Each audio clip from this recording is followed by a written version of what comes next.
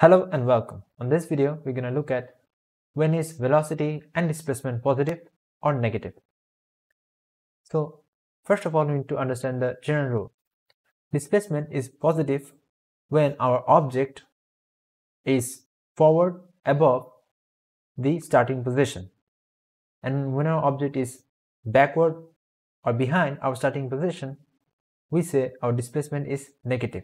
So displacement depends on the position of the object. So if it's placed above the starting point or forward, it's positive. If it's uh, placed behind or below the starting point, it's negative. Now, velocity depends on the direction the object is moving. If the object is moving forward or right, its velocity is positive. If the object is moving backward or left, its velocity is negative. If the object is not moving, then its velocity is zero. So with that idea, let's look into scenarios. So let's say this is our scenario 1. This is our starting point. So let's say SP. So this is our starting point and we are taking out an object from SP and moving it forward or upward. So let's say our object travels in this direction, in an upward direction. Let's say the object comes here. So, uh, so the object is traveling in an upward direction. Now let's say this is our this is our point A. Now this point A is above the starting point and in this point A the object is moving upward. So for point A our displacement will be positive since it since the object at A is above the starting point and our velocity will also be positive as the object is moving forward.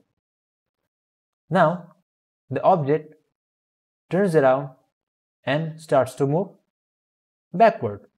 Now the object is moving backward. Now at this very point, the, when the object turns, basically this, the velocity changes from positive to negative because at this point, the object is moving backward. So when uh, before the object was moving forward, then the object had to slow down to a stop and then the object started to move backward. So at this position, at this very position, let's call this position B. At this position, our displacement was positive. So for position B, our displacement was positive. Because just like A, at B, the object was above the starting point. But for velocity, it's actually zero because the object is momentarily stationary at point B. Now let's look at another point. Let's make this point point C. Now the object is moving downwards or backwards towards the starting point. Now at this very point, the object is still above the starting point. So for point C, displacement will still be negative. But for velocity, the story is a bit different. Now, initially the object was moving forward, but now at C, the object is moving backward. So as the object is moving backward, so the velocity is actually negative and displacement was positive. Now, the object is moving, is continue, and the object is continuing its motion downwards. So now it reached the starting position or the starting point. At this very point, the object is still moving downwards or backwards let's call let's say this point is point D. So for point D, the displacement is actually zero. Why? So basically the object is placed on the starting point. As a result, our displacement is zero. Also, the velocity for this will be negative, just like at point C, because the object is still continuing to move downwards. Let's say the object is still continuing to move downwards and continue this trend of moving downward. So let's say the object is still moving downward at this point. Let's call it point E. So for this point E, our displacement will be negative. Why is that? Because at, at this point E, the object is behind or below the starting point. So our displacement will be negative. The velocity will also be negative because the object is moving backward or downward. And now let's say the object is continuing its motion and now makes a turn and now the object is moving towards the starting point. At this point, the velocity, the object is moving upward or towards the starting point. So let's say this point is F. So for point F, the displacement is still negative. This is because the object is still placed behind or below the starting point. So the displacement is still negative. But for the velocity, it's positive. This is because the object is actually moving forward or upward. So we know if our object moves forward or upward, our velocity is positive.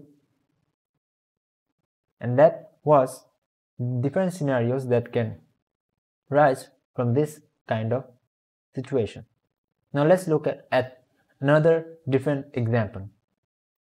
Now, for this example, let's say we had a building and from that building, a ball was thrown. So this is a ball, a ball was thrown upwards at an angle. So basically the traje trajectory of the ball will be like this. And the ball will finally fall on the ground. So this is the ground. Let's find, just like the last example, when is our velocity and displacement positive and when, it, when those are negative. So this is our point A. Before anything, we have to first understand what is our starting position or starting point. Now this is our starting point. As this is our starting point, let's call this whole line, this whole horizontal line as our starting point or starting line. So this is our starting line. Anything above this starting line, displacement is positive. Anything below this starting line, displacement is negative. And if our object is moving upward, even at an angle, our velocity is positive. If our object is moving downward, even at an angle, our velocity is negative. So with that idea, let's begin. So at this point A, our object is above the starting line. So at point A, our object is above the starting line, so our displacement is actually positive. Now, our velocity is also positive because our object is actually moving upward at an angle. Now, let's find, let's say this is our point B, and at point B, it reaches a maximum height. Now, when an object in a projectile motion like this reaches a maximum height, at that height, the velocity becomes zero because at this point, the velocity was, the object was moving upward and the velocity was slowly decreasing due to the acceleration of gravity. And at a point B, it reaches zero and after zero, the object starts to fall downwards. So at point zero, point B, the velocity is actually 0. But the displacement is still positive because the object is still above the starting line. So displacement is still positive, but the velocity is 0. Now let's say this is our point C. At point C, the object is placed above the starting line, just like before.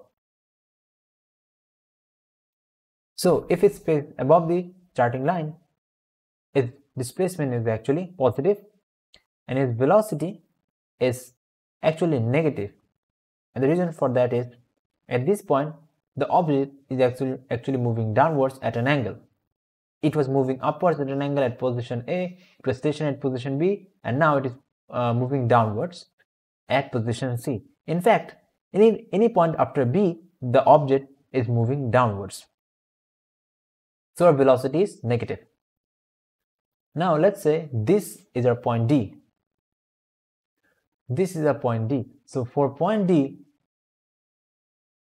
our displacement is actually negative. And the reason for that is at this point D, our object is actually behind or below the starting line.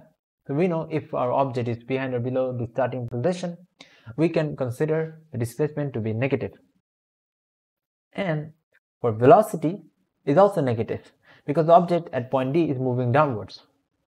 So as it is moving downwards, the velocity is negative. So the object will come to a standstill or basically fall on the ground at this point basically and so we don't have to consider anything after this. These were the few possibilities that can happen with displacement and velocity and it's necessary to understand when is displacement positive and when it when displacement is negative and for velocity when velocity is positive and velocity is negative. So hopefully that was helpful and that is all for this video